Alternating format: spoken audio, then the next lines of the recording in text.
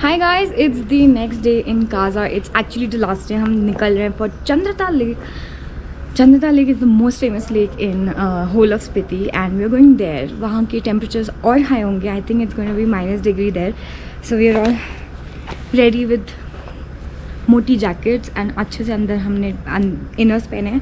Because going be really cold and oxygen levels भी कम हो सकते हैं. So please if you guys plan on come going to Chandratal lake अच्छे से रेडी होकर आना उसके लिए एंड ऑफ़ पैकिंग वैकिंग अभी हमने करी है and will go to Chandratal and after Chandratal we are going to Sissu valley so basically this is the last day in Spiti and it was a beautiful experience. It was a beautiful place and I just love it. So I will try कि मैं winter Spiti भी करूँ, क्योंकि summer Spiti was really nice. But winter Spiti is a different uh, experience as well. Anyway, if you guys are new to this channel, hi, I'm Bhavni Srivastav and if you've not liked, comment or subscribe to my channel, please do it. और आप पुराने videos भी देख सकते हो Spiti valley के और आज भी हम लोग बहुत चीज़ें करने वाले हैं I am gonna share the whole experience with you guys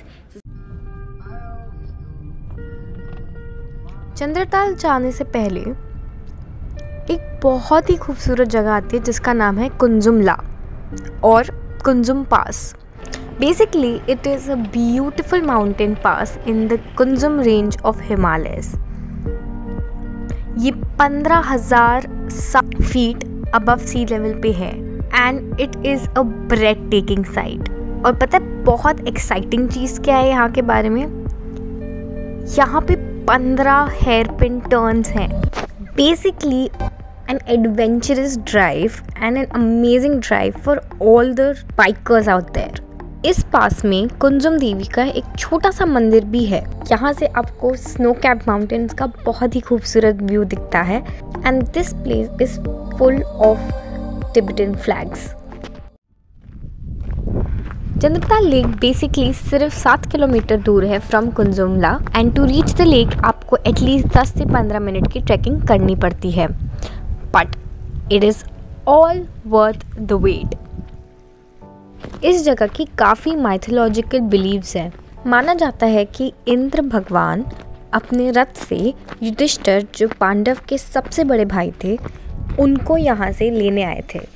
That is why it is flocked by a lot of Hindu devotees यहाँ के लोकल्स का मानना है कि यहाँ रात को फेरीज भी आके विज़िट करती हैं।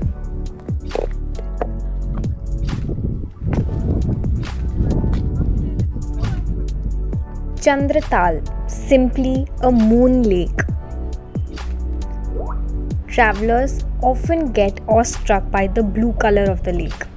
यहाँ पे कैंपिंग या रहना बिल्कुल अलाउड नहीं है due to government bans but इसी के आसपास आप लोग टेंट्स वगैरह ढूंढ सकते हैं पर इस एरिया में आपको कहीं भी नेटवर्क्स बिल्कुल नहीं मिलेंगे सनलाइट की वजह से पानी का रंग हमेशा सुबह से शाम तक बदलता रहता है। It is a holy lake water that keeps changing from reddish to orange to blue to emerald green as the day ends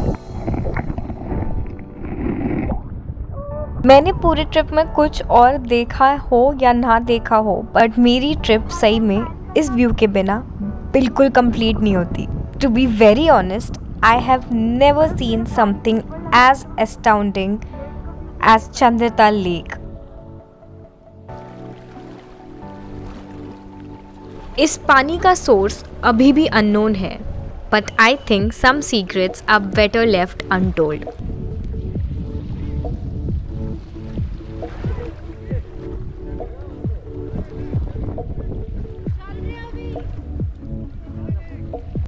हो गया हमारा Chandratal lake and it is amazing but now we have to go back और track ऊपर वापस करना है, जिसमें मेरे को बहुत डर रही हूँ, क्योंकि चढ़ाई डिफ़िकल्ट ही। है so now we'll go back and will go will be on a way to Sissu valley जो हमारा आज रात का स्टे है। So let's go This is the end of Spiti trip.